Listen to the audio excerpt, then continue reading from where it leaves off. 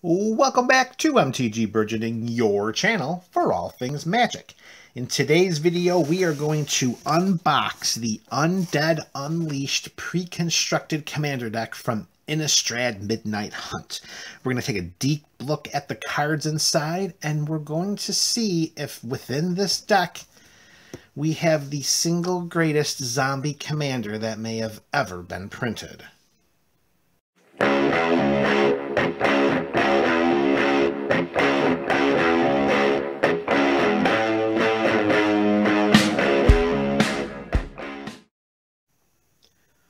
What's up, MTGBC? That is the MTG Burgeoning Community.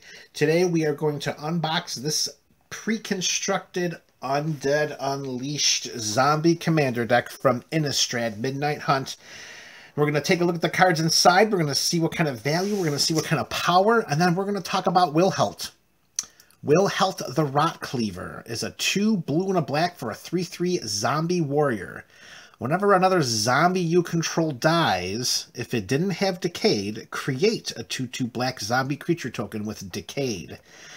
The first thing that jumps out to me is that says whenever another zombie. It doesn't say whenever another non-token zombie. And let's be honest, we have so many ways to create zombie tokens. So that's the first thing that catches my eye is that Wilhelt says whenever another zombie you control dies, create another zombie token. Now, granted, that has decayed, but do we care? I don't think we do because of what we can do with blue and black. And then the last uh, wall of text at the bottom, at the beginning of your end step, you may sacrifice a zombie. If you do, draw a card. So we can just trade in zombies for cards. Wilhelt the Rot Cleaver, is he going to take the place of the Scarab God as the best zombie commander? Ooh, that's a conversation for us to have. But first, we got some cracking to do here. We need to open up this box. We need to get some cards in our hands. We just have to get going here. We need some new cards in our hands. Let's do it. All right, that doesn't come out. Um, all right, we'll put that over to the side because we're just about the cards right now.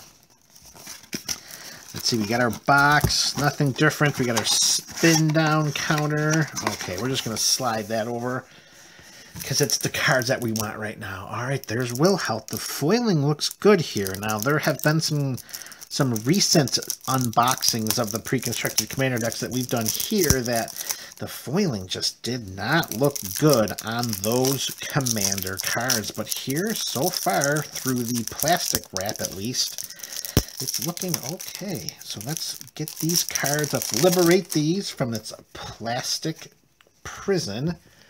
Yeah, that looks good. It does not look faded. It looks good. Good job. All right, so that's Wilhelt. That's who we were talking about at the beginning of the video, so you are definitely going right into the awesome to discuss later pile. And this is our second foil legend. This is Eloise Nephalia Sleuth. So this is a human rogue for three and Dimir 4 4 body whenever another creature we control dies, investigate. Whoa, that seems really strong. Holy mackerel. Any creature. Again, it doesn't say non token, it just says whenever another creature you control dies, investigate. Wow, that's really strong. Whenever you sacrifice a token, surveil one. Whoa. Wow, that is. Ooh, Eloise. You are strong with the Force. Holy mackerel, you're going to go right out there with Wilhelt. Wow, those are two awesome, awesome power. Wow. The power, whenever another creature die you control dies, investigate. Whenever you sacrifice a token, surveil one.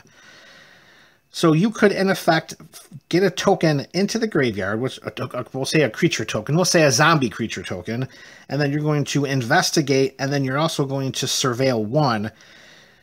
Wow, so you could potentially stack the triggers in a way so that you can see what you're going to draw before you draw it, or put that into the graveyard. That is very strong. Wow, holy mackerel. Very good. Wow, each of those commanders are pretty strong. Wow, okay. All right, reprint. Oh, just so good to see Distant Melody in this deck. I mean, it, that's one of those cards that whenever I sit down to do a tribal deck, I'm looking, oh, where's my copy? Do I have a copy of Distant Melody? And I I always either have to forego it or cannibalize a different deck. So this is nice to throw into the coffer. So you go over here into the into the good to see you reprinted pile. All right, Eternal Skylord, that's for more of the Spark. Okay, Corpse Augur, that's another reprint. Feed the Swarm, reprint. Okay, Fleshbag Marauder, greatest name ever. Good to see you reprinted. All right, go for the throat. Liliana's Devotee. Lord of the Accursed, one of our zombie lords. All right, Spark Reaper. Sacrifice a creature or planeswalker. Gain a life, draw a card. Well, all right, meh. Syphon Flesh, that's not anything new. Undead Augur.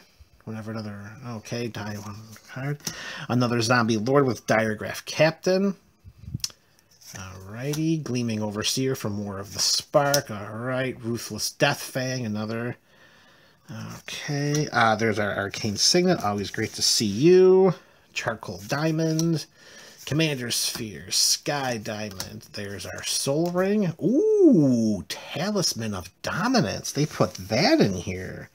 Very good reprint. You are going right over there with those other choice artifact ramp. All right, Bojuka Bog. There's our command tower. Best land in the set. I'm sorry, best land in the format, I should say. Uh, Mortuary Mire, okay. Myriad Landscape, right. Path to Ancestry, underrated, I think. Tainted Isle, love the Tainted set. Unclaimed Territory, that'll be great for uh, Tribal. All right, what's this? Cleaver Skaab. All right, this is actually, I think, in the Midnight Hunt set. I thought it was, but maybe not. Nope, Midnight, Midnight Hunt Commander. So this is just a specific commander card. So three sacrifice another zombie. Create two tokens that are copies of the sacrificed creature. Whoa, that seems really strong. Sacrifice a zombie lord to put two into play. Ooh, yeah, you're pretty sweet. We'll put you right there with the commanders. What's this? Curse of Unbinding. Seven? Six and blue for an aura? Oh man, this better be sweet. At the beginning of Enchanted Player's upkeep, that player reveals cards from the top of the library until they reveal a creature card. Put that card onto the battlefield under your control.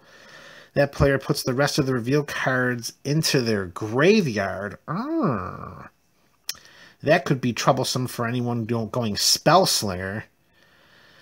Ah, that, that just the randomness of this card seems like it could be a little trouble because you never know who's playing what creatures in which decks and whether it's even worth to invest seven mana. I mean, it would be nice to fill the graveyard, but you're not filling them with creatures. Eh, I'm not so keen on Curse of Unbinding. I'll put you over. Uh, I'll just put you here. I know you're new. You're going to go right there. Not so keen on that card. All right. Drown in Dreams. X and 2 blue. Choose one. If you control a commander as you cast the spell, you may choose both. Okay, so target player draws X cards or target player mills twice X cards. Okay, so we got we got a card that you can use just to fill your hand. You can use this to really mill an opponent, or you can do both if you have a commander in play. I would like to take this card right out of this pre-constructed deck and stick this right into a Zaxara build because this, to me, is a better stroke of genius. Stroke of Genius is exactly the same thing, X and 2 blue, and, you know, target player draws X cards. However, it doesn't have the other condition as if we control a commander, we can also have target player mill 2 cards.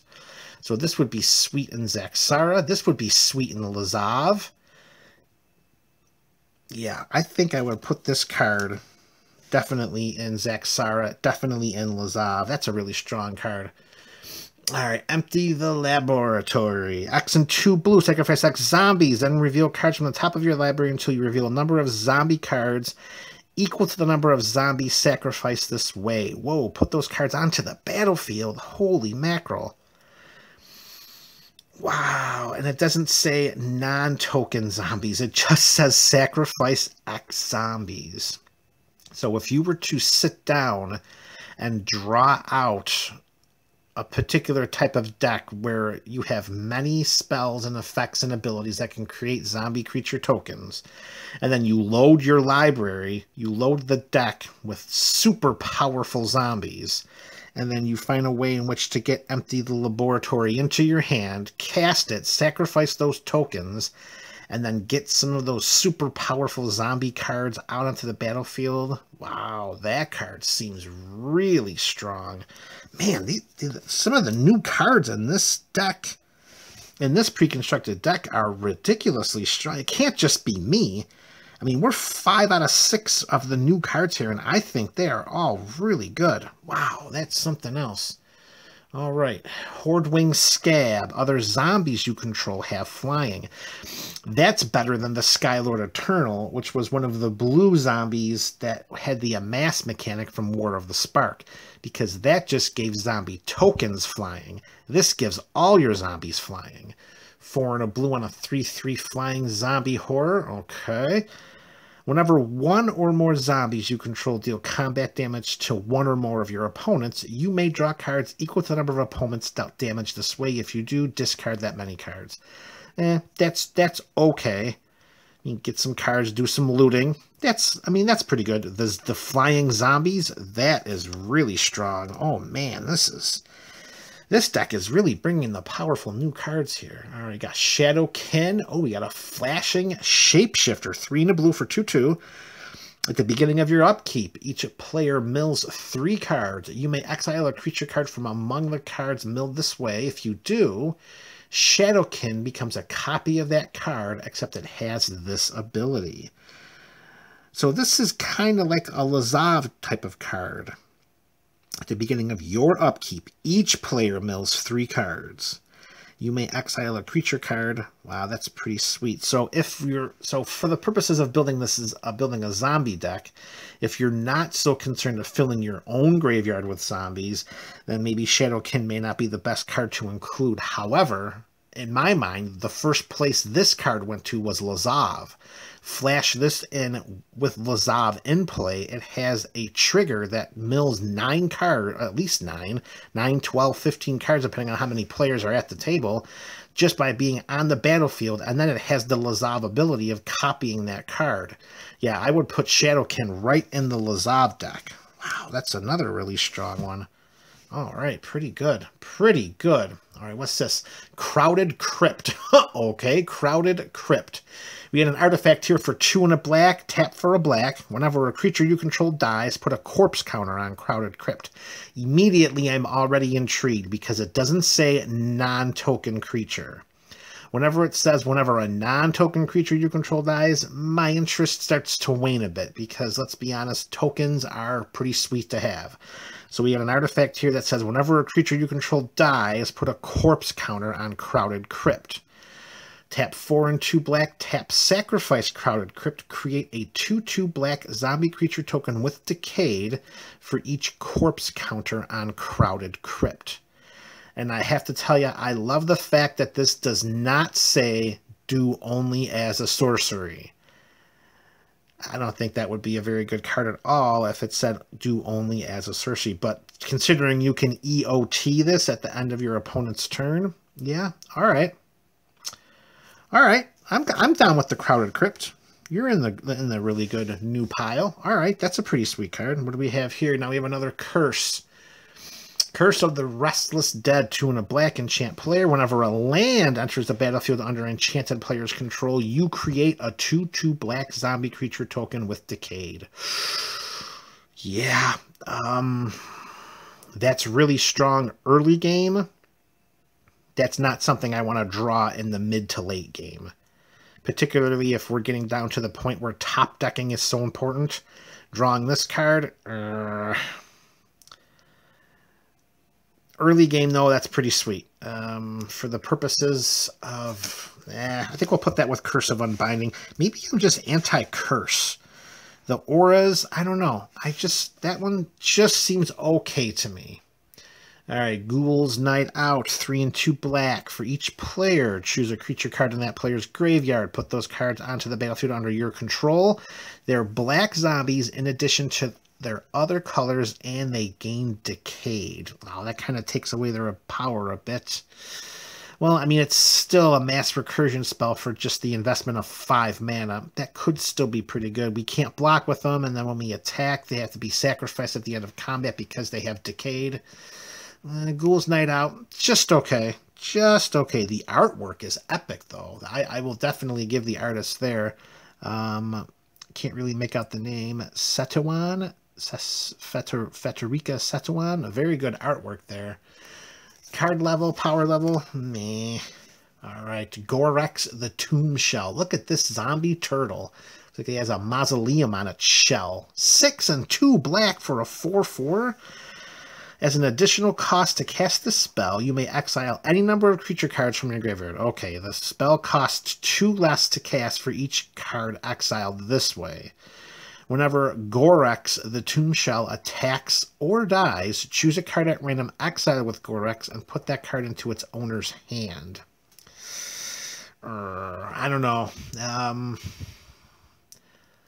so at, at, its best, we can exile three cards from the graveyard to pay two black mana for a 4-4 Death Toucher.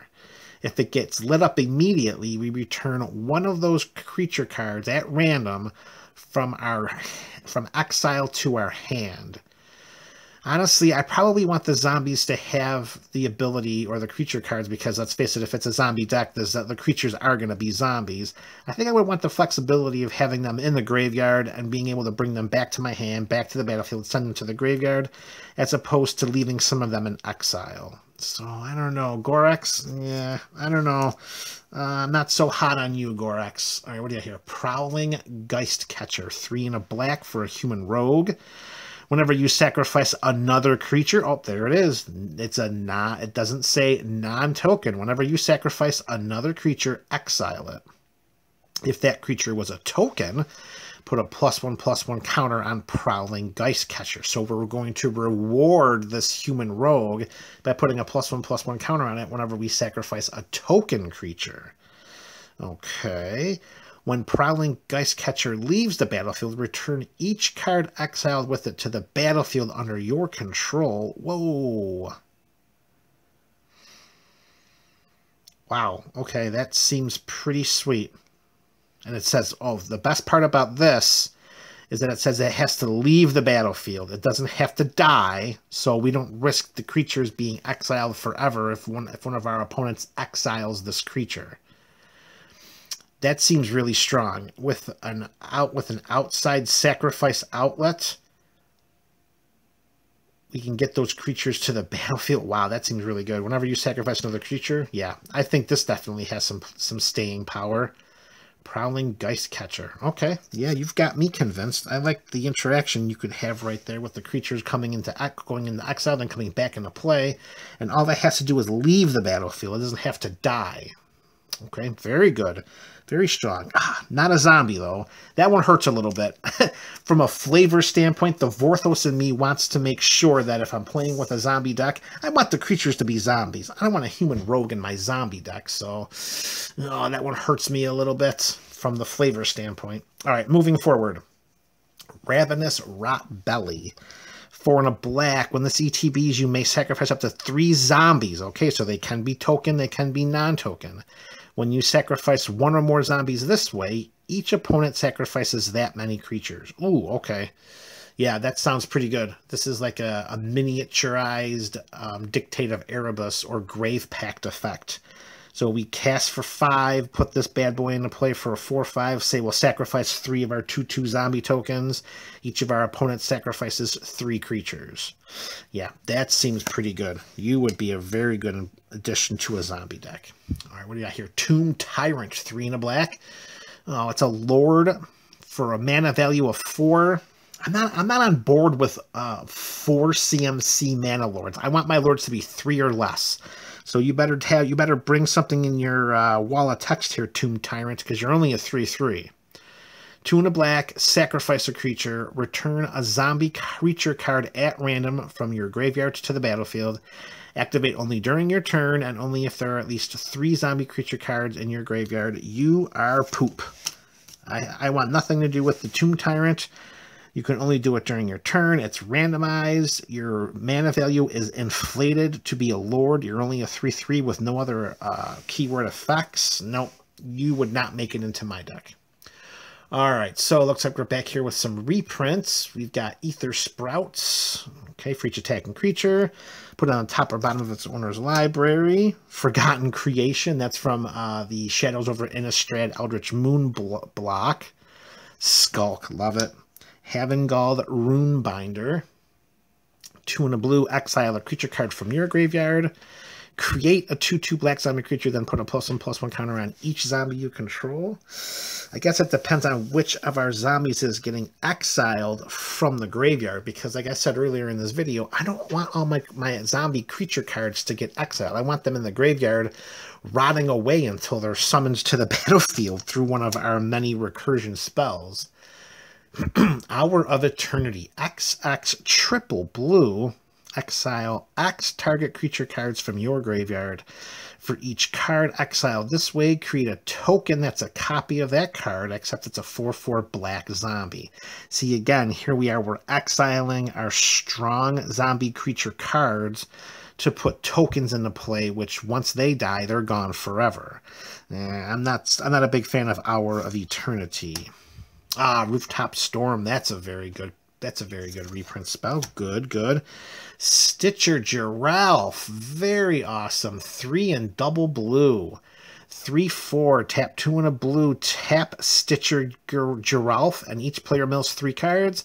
Exile up to two creature cards put into graveyards this way. Create an XX blue zombie creature token where X is the total power of the cards exiled this way.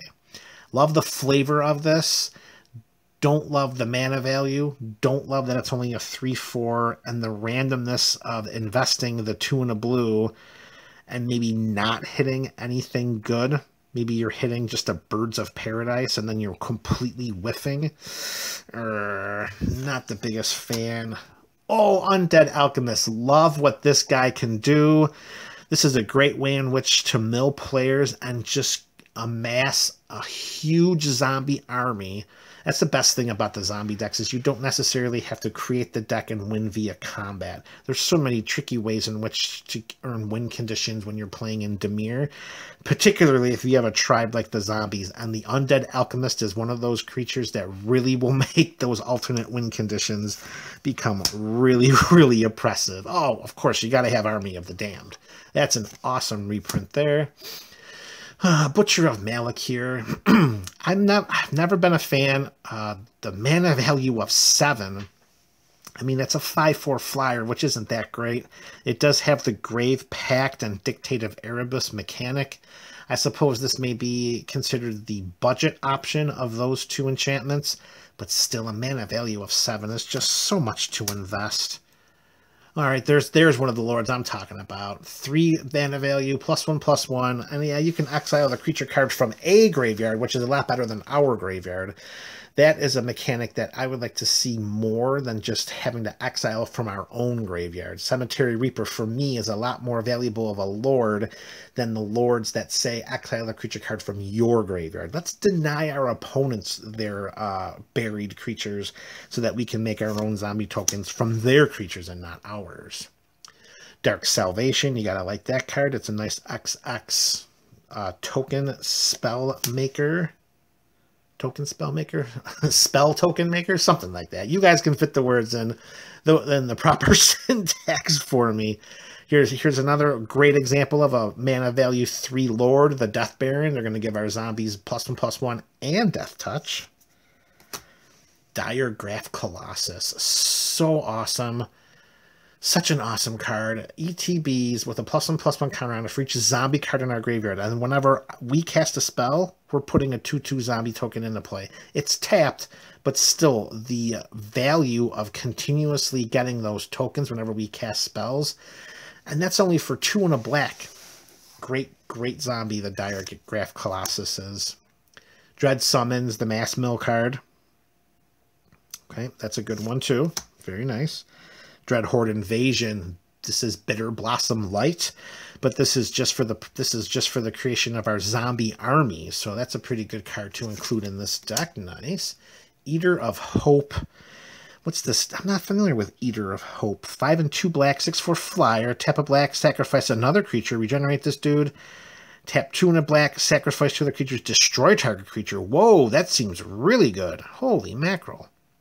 Yeah, that will work very well. Tap three, sacrifice two of our zombie tokens, destroy target creature. Love it. Love the fact that it sacrificed another creature. Again, it doesn't say sacrifice another non-token creature. Plus, love that it says destroy target creature. It doesn't say destroy target non-black creature. Those are both functions that you see a lot of times in black cards. Glad it's not on Eater of Hope. That's a really good creature. Endless Ranks of the Dead. That's a great card to put in there. Gravespawn Sovereign. Tap five zombies you control to put target creature card from a graveyard onto the battlefield under your control. The investment of the of six mana for a 3-3 that you have to utilize additional creatures to tap just to unearth a creature from a graveyard. I don't know if tapping down, if tapping five of our dudes would be enough to bring back anything of that much value from our graveyard. Our opponents may have something, but I'm not so sure that we would. Whoa, Lily is in this deck. All right. Liliana Death's Majesty. Oh, Majesty. Well, there's a welcome reprint. Very nice Lily. Oh, okay. Liliana's Mastery. Of course, you have to have that in a zombie deck. Midnight Reaper. This one always scares me. It really does. I like that it's whenever a non-token creature you control dies. For this time, I enjoy that it's non-token and not any and not any creature because that could really add up quickly, taking the one point of damage. All right, open the graves. Whenever a non-token creature you control dies, create a 2-2 black zombie. See, for me, investment of 5 mana, meh. Overseer of the Damned is pretty sweet. I wish that were whenever a creature an opponent controls dies as opposed to a non-token. But still, it does help us to generate mana, or to generate black zombie creature tokens. Of course, Zombie Apocalypse. Gisa and Geralf. Okay, good to see that they're here reprints. And it looks like we're getting to our lands now. Choked Estuary, Dark, okay, Exotic Orchard. Always a good card, that those Exotic Orchards. Sunken Hollow. You know, the Battlelands, as, as these are referred to, because they first appeared, the, the allied colored Battlelands first appeared in Battle for Zendikar. Underrated. I like these cards, and I'm looking forward to Wizards completing the cycle when they do the enemy Battlelands. Don't know when that will be, but this cycle is unheralded temple, islands, lots of islands, lots of swamps.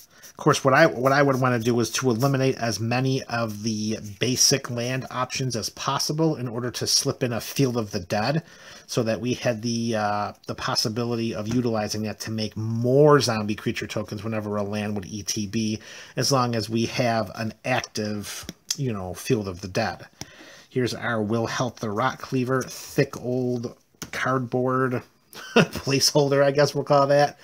Zombie tokens and zombie tokens and more zombies, and that is it. All right, so initial impressions for me of this deck. I think overall, the new cards printed in this deck are extremely powerful. Um, I really do think that there are a lot of really powerful new cards in this deck.